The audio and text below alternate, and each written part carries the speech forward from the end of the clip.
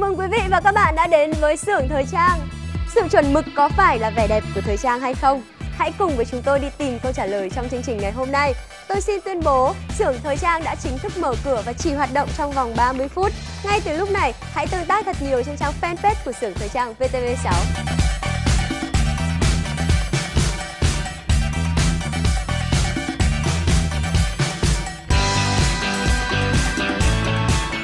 Hỏi tương tác ngày hôm nay của chúng tôi đó chính là vẻ đẹp của một giảng viên tương lai là gì?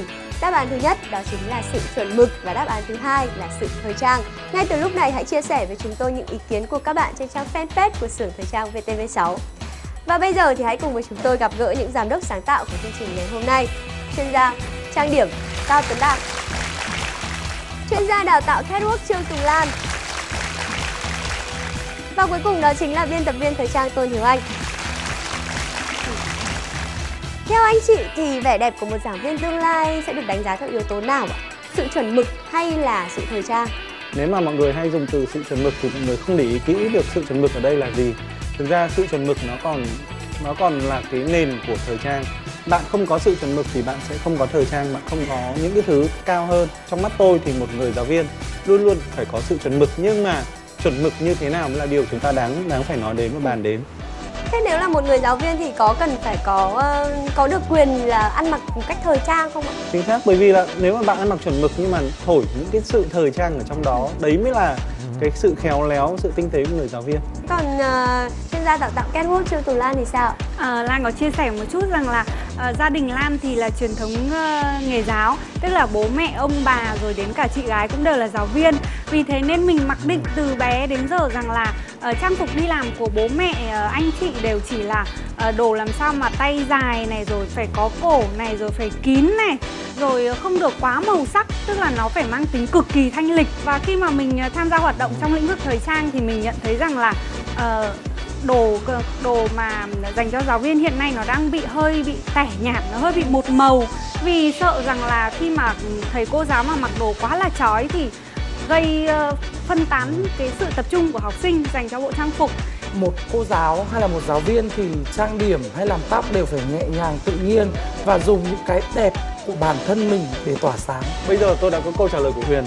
Cái khó hơn nữa là thời trang chính ra lại dễ còn chuẩn mực mới là cái khó bởi vì chuẩn mực nó còn cảm theo tôi cảm nghĩ là nó còn cao cấp hơn cả những thứ đang là mốt đang là xu hướng thì nghĩa là chúng ta phải tìm ra câu hỏi là làm sao để mặc chuẩn mực thì mới là cái cái rất là khó À, thế thì tại sao chúng ta lại không đi tìm câu trả lời là làm sao để vừa mặc chuẩn mực mà lại vừa thời trang đúng không ạ? Và câu trả lời sẽ có trong chương trình sửa thời trang của chúng tôi ngày hôm nay. Nhưng trước hết thì hãy cùng gặp gỡ với nhân vật sẽ được biến đổi trong chương trình sửa thời trang của chúng tôi đã.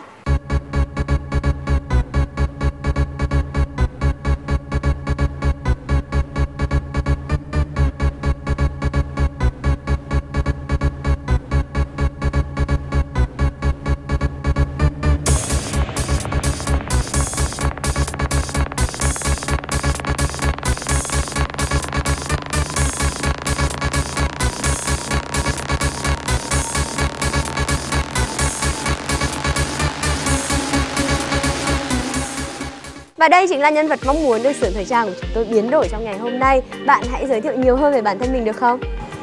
Vâng ạ. Em là Nguyễn Thị Quỳnh Trang, là sinh viên năm 2 của Học viện Quản lý Giáo dục ạ. Và em theo ngành giáo dục học và sau em theo định hướng là làm giảng viên trong tương lai ạ. Và rất mong anh các anh chị vào chương trình thời trang cho em một uh, hướng thời trang nó vừa chuẩn mực nhưng lại vừa phong cách ạ. Thế hiện tại thì bạn có đang gặp vấn đề gì với phong cách của mình không? Dạ, um, em thấy cái phong cách của em nó không được um, tự tin với uh, dáng cái em rất là em thì cao uh, khá là không cao lắm đâu nhưng mà em thấy uh, em đôi lúc em phối đồ em thấy em rất là thấp ạ.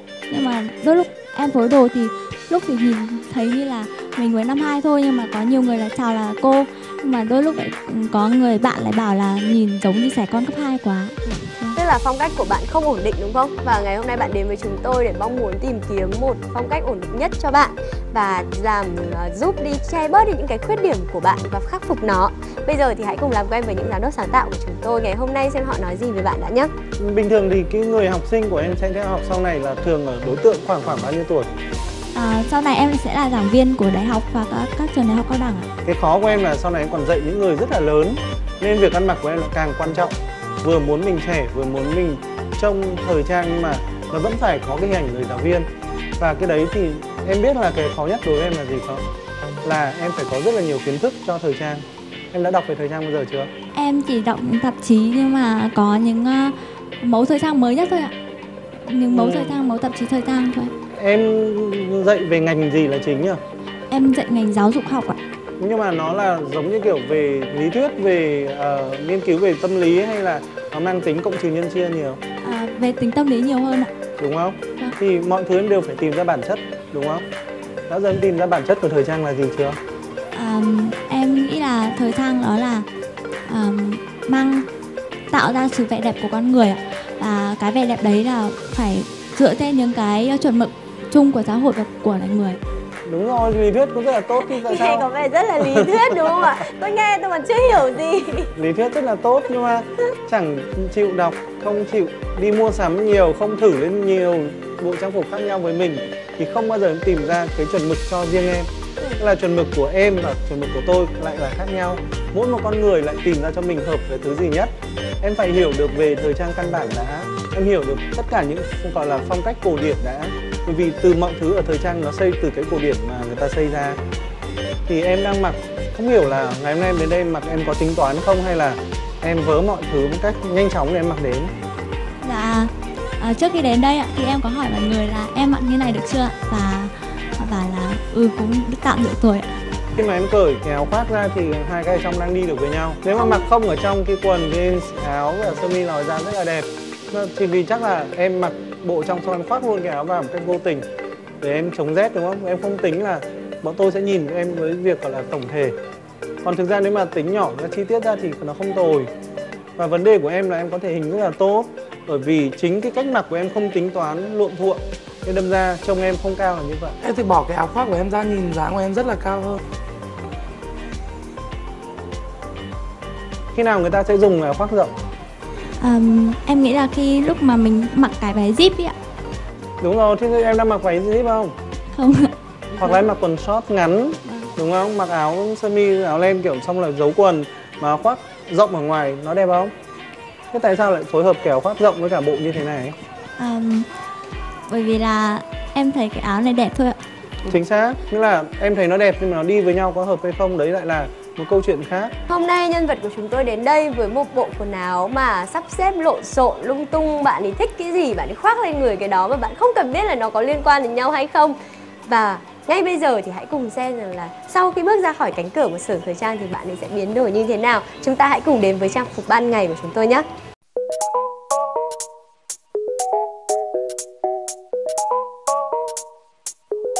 Em chào ba vị giám đốc sáng tạo, chào bạn Trang. Mình ờ, mang đến gợi ý cho bạn là trang phục daywear, trang phục ban ngày. Ờ, mình ờ, mang đến phong cách là style middle, có nghĩa là kết hợp nhiều trang phục để tạo thành nhiều lớp. Bộ trang phục mình mang đến thì cũng tương tự như bộ bạn đang mặc. Nhưng mình muốn gợi ý chút là về cách tạo nhiều lớp này thì mình lên tinh tế một chút thì nó sẽ không bị rườm rà và không bị uh, rối mắt. Chân váy yếm dài thì ờ, đang hot của mùa thu đông năm nay. Mình mang đến là tông đồ nâu vàng. Thì mình có tạo điểm nhấn ờ, ở cổ và chiếc cặp sáng màu hơn để cho bộ đồ không bị nhàm và buồn. Ờ, gợi ý trang điểm là mình ban ngày thì mình chỉ muốn bạn trang điểm nhẹ, tông cam. Còn làm tóc thì để tự nhiên và xoăn sóng. Tôi xin hết ạ. Chị thấy bộ này rất dễ thương. Chị nghĩ rằng là Trang cũng có thể thử theo phong cách này. Ví dụ như ờ, bạn ờ, có thể dùng ờ, có thể mặc bộ này đi học được, đi chơi được Thậm chí lên lớp cũng vẫn được. Khi mà bạn mặc đi trên đường bạn có thể đội mũ Vào lớp giảng dạy thì bạn có thể bỏ mũ ra.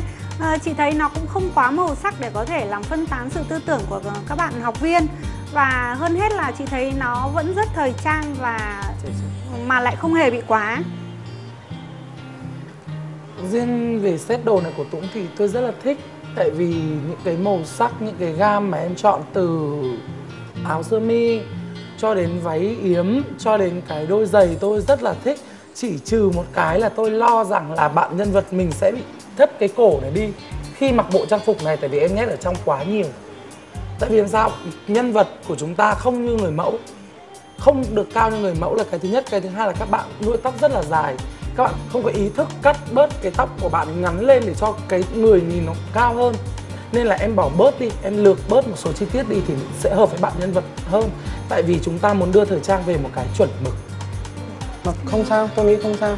Tôi nghĩ là cái điều hay ở đây là chỉ cần bạn nắm được công thức hãy thử tất cả những thứ thời trang nhất và cách nhất rồi bạn tự biết nguyên tắc để làm sao set up được cho mình khi cần thiết trở thành một người có một vẻ đẹp chuẩn mực. Ừ, Vâng, à, biết uh, nhận thức đúng không ạ? Biết tư duy, biết sắp xếp đúng không ạ? Nhưng chưa chắc những cái đó khi mà khoác lên người mình thì nó đã trở nên hoàn hảo và nó thành công đúng không?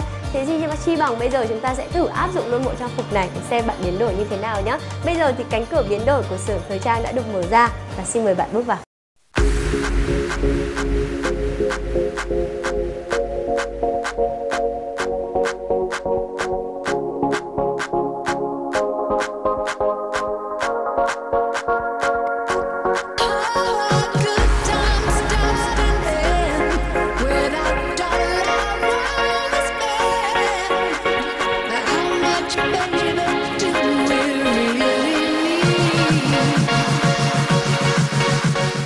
Đây chính là bạn Trang của chúng ta trong gợi ý set đồ ban ngày của chúng tôi. Bạn trông mình thế nào? Có lạ lẫm không? Có quen mắt không? Ngày xưa thì em thường mặc váy là váy xòe thôi ạ Ừ. Chưa bao giờ mặc váy kiểu đứng chân em thấy là nó không nghĩ không hẳn là nó không tà như em mặc váy đứng như em nghĩ mà nó rất là tự tin em thấy cảm thấy tự tin về cái bộ đồ này Tôi chỉ đang thắc mắc về đôi giày mà bạn đang đi. Bạn có cảm thấy thoải mái với nó không? em nghĩ là em không em không thấy thoải mái em không quen đi giày cao gót lắm và thứ hai là em không thích đi cái đôi giày này ừ. Bạn nói với chúng tôi rằng bạn không thích đội mũ và bạn không thích chiếc mũ len này Nhưng khi mà đội nó lên đầu rồi thì bạn cảm thấy thế nào? Bạn có còn quan điểm đấy không? Em không Không. bây giờ em lại thấy nó rất là hợp rất là đẹp ạ Bây giờ lại thấy thích rồi đúng không? Và vấn đề ở đây chính là bạn chưa biết cách làm đẹp với những gì mà bạn đang có thôi Còn bây giờ thì chúng ta sẽ lắng nghe những giám đốc sáng tạo của chúng tôi Họ nói gì về bộ trang phục mà bạn đang mặc Chị thấy ờ, đôi giày giống như mà bạn nói có thể là chiều cao hơi cao quá so với bạn Thực ra thì set đồ này đã rất đáng yêu với bạn rồi. À, Nếu bạn cảm thấy không thoải mái bạn có thể thay đổi bằng một đôi giày sneaker cổ cao một chút Thì vừa đi vững chân hơn mà vẫn rất hợp với bộ đồ. Tôi chỉ thấy là cái khó của bạn sắp tới nữa là bạn phải đối diện với sự mọi người sẽ chê bạn là già dặn. Bởi vì là rõ ràng là tính chất công việc của mình yêu cầu như vậy nhưng mà ngoài đời thì hãy là trẻ trung như thế này. Thì bởi vì một người mà có nhiều màu sắc phong cách thì gọi là sẽ hấp dẫn hơn. Tôi chỉ thấy hơi tiếc tại vì tôi nghe bạn stylist là tôi đánh màu cam, như là tôi quấn sóng to cho bạn đi dàn đây các bạn rưỡi hết. Với cả cái màu cam, tại vì cái da của bạn ánh vàng nhiều quá, màu cam bị chết da. Thì tôi hy vọng là cái đến cái stylist tối thì tôi có thể làm cái ý của tôi được Thì bây giờ chúng ta sẽ cùng chuyển sang chuyên gia định hình phong cách tiếp theo, Chuyển sang set đồ tiếp theo của buổi tối Để xem rằng là với những trang phục buổi tối với một cách make up khác Thì cô gái của chúng ta sẽ lại xuất hiện như thế nào nhé Nhưng mà trước hết thì chúng ta hãy cùng nhau xem lại bức hình của bạn trong bộ trang phục này khi nào tôi nói sẵn sàng thì bạn hãy quay trở lại và ngắm nhìn mình trong bức hình đó và hãy nói cho chúng tôi biết bạn nhìn thấy cô gái ở trong ảnh như thế nào. Xin mời bạn. Và hãy quay lại đây để nói với chúng tôi rằng bạn thấy trông mình như thế nào nhỉ? em thấy mình trẻ ra hơn vài tuổi trước cái bộ đồ trước của em và em thấy xinh Bạn thấy rất xinh, bạn cảm thấy rất hạnh phúc về điều đó, bạn cảm thấy bạn trẻ ra rất nhiều. Thế thì bây giờ tôi nghĩ rằng là với set đồ đầu tiên bạn đã cảm thấy rằng bạn thích thú như thế này rồi thì tôi tin chắc rằng với set đồ thứ hai của buổi tối bạn sẽ còn cảm thấy thích thú hơn rất nhiều.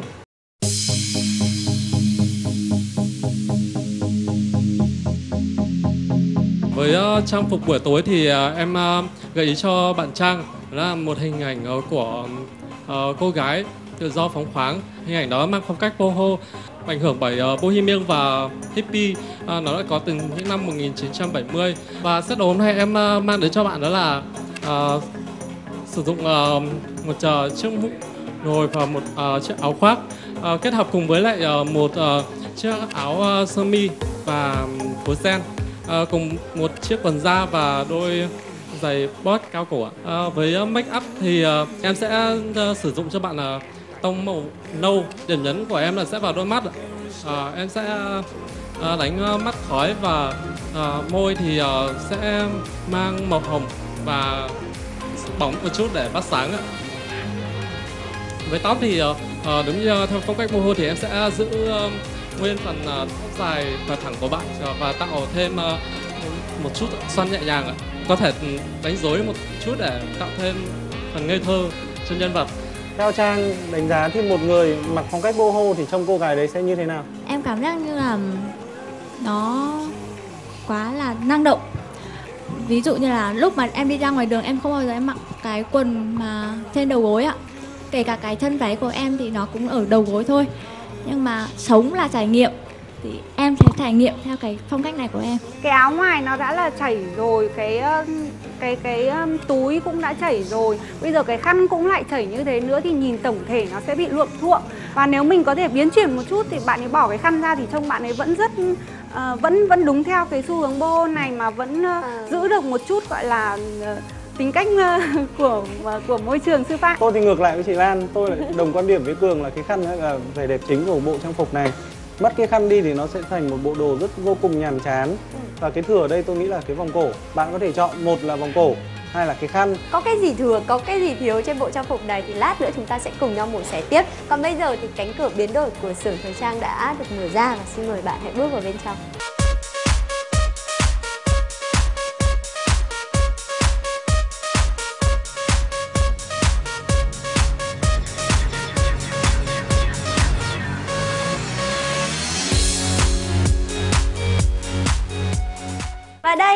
Là sự biến đổi thứ hai mà xưởng thời trang của chúng tôi đem lại cho bạn. Đầu tiên thì bạn cảm thấy như thế nào đã? À, tôi thì thấy rất ấn tượng, trông bạn sexy hơn rất là nhiều. Vâng, em cũng cảm thấy như thế ạ. Mà em một chút về vấn đề của trang phục là em cái áo nó hơi bị xuống một chút ạ. Cảm thấy em đi chơi mà em vung tay nhiều thì em nó không thoải mái. Ừ. Tức là bạn chưa tự tin vào chiếc áo đúng không? Nó khiến cho bạn ờ, có những cái cử động nó không được tự nhiên, nó không được thoải mái cho lắm đúng không? Bạn luôn luôn phải ờ, lo lắng xem là nó có rơi không, nó có tuột mất không. Em ấn tượng với cái khăn này ạ. Em ấn tượng về cái khăn này. À, bạn rất là Nó- thích cái khăn. Nó như là một điểm nhấn ấy ạ. Ừ. Thế thì bây giờ hãy cùng chúng tôi nhìn lại hình ảnh của bạn trong bộ trang phục này nhé. Nếu các bạn đã thực sự hài lòng với nó.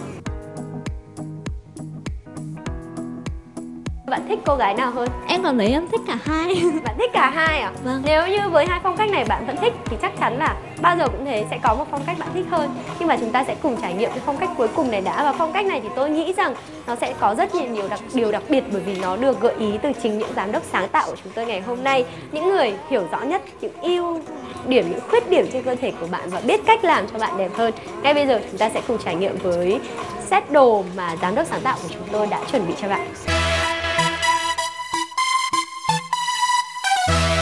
Lúc nãy thời trang đã đưa bạn đi rất là nhiều thứ rất, rất là nghịch ngợm của đứa trẻ con, phá cách và rất là ờ, phóng khoáng theo kiểu boho và bây giờ chúng tôi trở lại với bạn một set rất là cổ điển. Tức là một cái chân váy xòe này bạn mặc với cả một kéo len cổ lọ ở trong. Nó giữ được sự cổ điển cho bạn. Và đi ra ngoài lạnh thì bạn có thể khoác thêm cái áo khoác mà bọn tôi gọi là cách mix gọi là matchy matchy Tức là ví dụ bạn mặc kẻ ở dưới thì ở ngoài cái cách kẻ nó phải kẻ rộng hơn mang màu đỏ như thế và đôi boss bạn có thể đi màu màu nút màu da người để trông chân bạn dài và cầm một cái túi vuông vuông màu màu đỏ như thế này Ờ, mặc như thế này không sợ mình quá đứng đắn nó vẫn có một cái gì đấy rất là lịch thiệp người ta nhìn vào người ta nhận xét à đây là một cô gái lịch thiệp Ừ. Bạn có thấy hứng thú với set đồ này không? Em có ạ và em ấn tượng là cái màu váy, màu váy và cái ờ, áo ạ. Cái áo khoác bên ngoài. Thế thì ngay bây giờ chúng ta sẽ cùng để cho cô ấy thay đổi phong cách của mình thì chúng ta sẽ đi đến quyết định cuối cùng xem đâu mới là phong cách chính xác của bạn Trang ngày hôm nay nhé.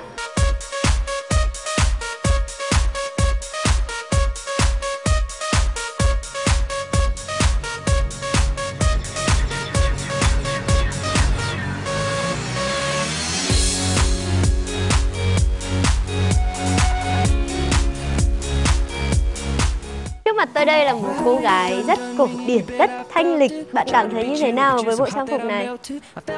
Em cảm thấy là nếu em đi chơi em thoải mái mà lúc mà nếu mà em đứng giảng em cũng thấy thoải mái Tức là bạn thấy hoàn toàn ổn với bộ trang phục này và không có một chi tiết nào bạn muốn thay đổi. Đó, và bây giờ thì chúng tôi sẽ cùng đến với chiếc gương sự thật. Và các bạn khán giả ngay từ lúc này nếu như các bạn cảm thấy bạn Trang của chúng ta trong bộ trang phục này rất thanh lịch, à, rất giống một à, tiểu thư và rất là hợp với phong cách của bạn đấy thì cũng có thể chia sẻ với chúng tôi những ý kiến của các bạn trên trang fanpage của xưởng thời trang VTV. VTV6 nhé. Và bây giờ thì tôi xin mời chiếc gương sự thật.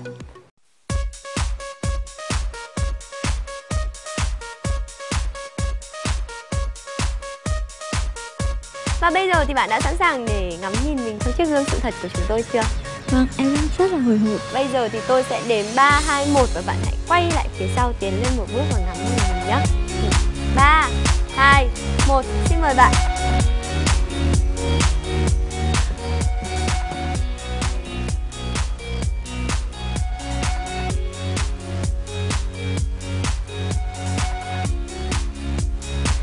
Nói cho chúng tôi biết bạn nhìn thấy cô gái như thế nào ở trong gương. em thấy nó giống như một cô công chúa ấy chị ạ Ừ. em cảm giác như là rất là quý phái kể cả cả khuôn mặt của em Bạn có thấy mình xinh không? với em thấy em rất xinh ạ Bạn thấy rất là xinh. À, bạn có thấy rằng bộ trang phục này ổn không? em rất thích Và nếu như ngay từ bây giờ bước ra khỏi cánh cửa của xưởng thời trang thì bạn có tự tin mặc luôn bộ đồ này đi đến giảng đường này, đi chơi cùng với bạn bè này và thậm chí là bạn có đủ tự tin để mặc nó và đến trước mặt của mẹ bạn không?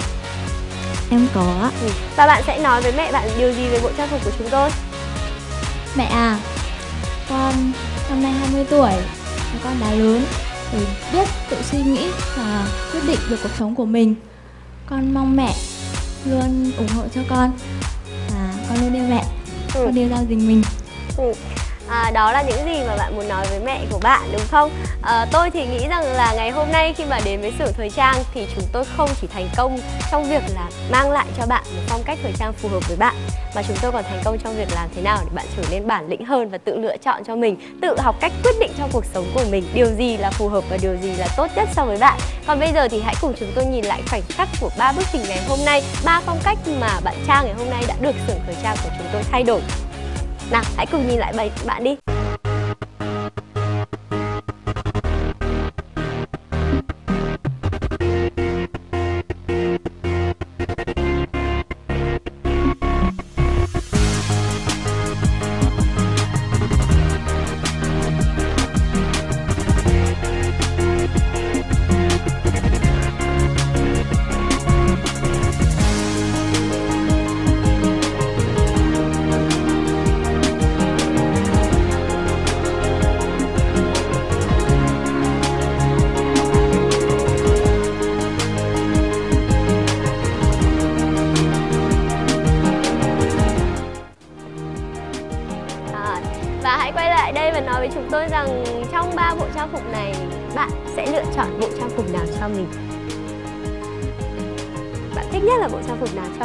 Phục này của mình? em đã lựa chọn bộ trang phục em đang mặc đấy ạ Ừ. Và đây chính là thành quả của chúng tôi Ngày hôm nay chúng tôi đã khiến cho bạn Trang trở nên tự tin hơn với bạn ấy rất là nhiều rồi Và các bạn khán giả thân mến Bất cứ một vẻ đẹp nào thì cũng đều có một sự chuẩn mực của quan trọng là thời trang hay điều gì cả, Mà quan trọng nó phù hợp với bạn và nó phù hợp với bất cứ hoàn cảnh và không gian nào. Điều đó sẽ làm cho các bạn cảm thấy thật sự tự tin. Còn những bạn nào chưa tự tin thì hãy đến với xưởng thời trang của chúng tôi, Các bạn sẽ có điều đó. Còn bây giờ xin chào và hẹn gặp lại vào những số sau. Tôi là Thanh Huyền của xưởng thời trang.